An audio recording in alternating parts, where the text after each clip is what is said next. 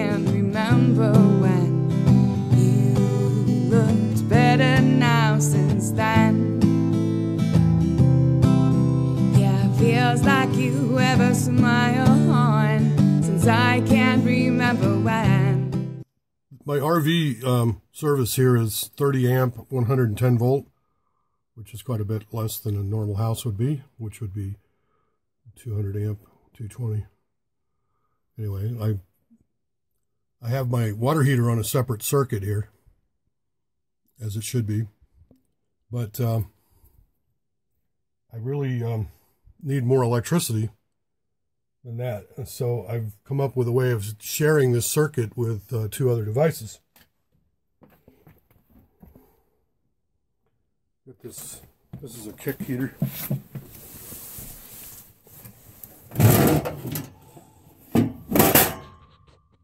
I'm installing this kick heater here under the range and that's going to be one of the circuits and then I also I also ran this conduit up over here to this outlet over here, which I'm going to use for the air conditioner. And then, of course, the original water heater. This is a three position switch I bought on eBay. And it'll switch between three different circuits. In my case, um, I don't need to switch the entire circuit, just the hot wire. But uh, anyway, it's uh, it's off with three positions. So one will be the water heater, one will be the, the heater under the range, the other one will be the outlet used for the air conditioner. And uh, depending on what I'm doing, I normally wouldn't be using all three at once. The water heater is a, is a dual use propane also. I almost never use it on electricity. Anyway. So I'll show you how I'm mounting this. I was drilling that out with the drill press. And let me cough. See that wasp nest there? This, I was drilling and suddenly this wasp nest came down. Oh, there's one. And a bunch of wasps came out. There's one right there.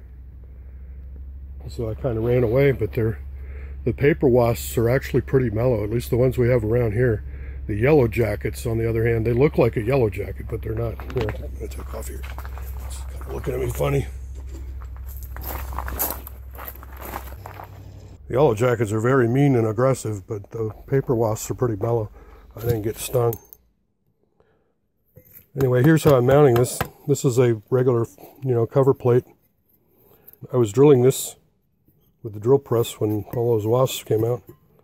But so I drilled a hole here for the spindle and then these holes for these mounting screws.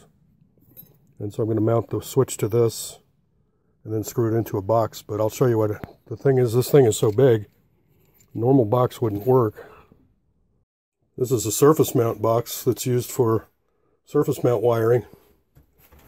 And uh, so I'm going to put that over this box here. And uh, even there, I'm not so sure I'm still going to have enough room. I'm going to put the wall back.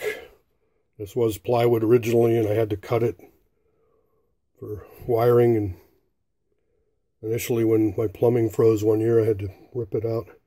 So now I've got it covered with uh, diamond plate. Um, anyway, put the wall all back together and mount that thing and see whether I can get it to all fit in here. I think it's, I think I still need to do something else with this, but we'll see in a minute. So this red wire coming in here is the, is the hot wire. And then these are the three different circuits. Water heater, the heater, and the air conditioner outlet. This is what was in there before. There was a cabinet down there.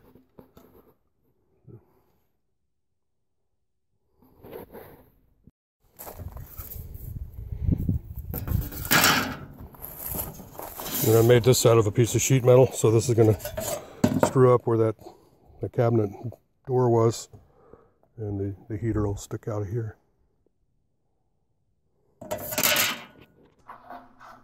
There's the switch ready to wire up. Um, you can see I had to use a second box, but it's all ready to go. So the switch was so deep, I ended up putting two of these surface mount boxes together. This is a deep one, and this is a normal one. This thing was very, very spacious. So that's off, zero. One is, is my kick heater down here.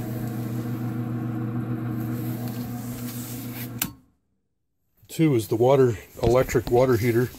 This is dual propane electric. And then three energizes this circuit up here. So I used a red one just to mark it as special. And this is uh, where I use my air conditioner during the summer. I've got a portable air conditioner. I plug in there. Okay, well, I think that's about it for this time. Thanks for watching, and uh, we'll catch you next time. Have a good one. Later.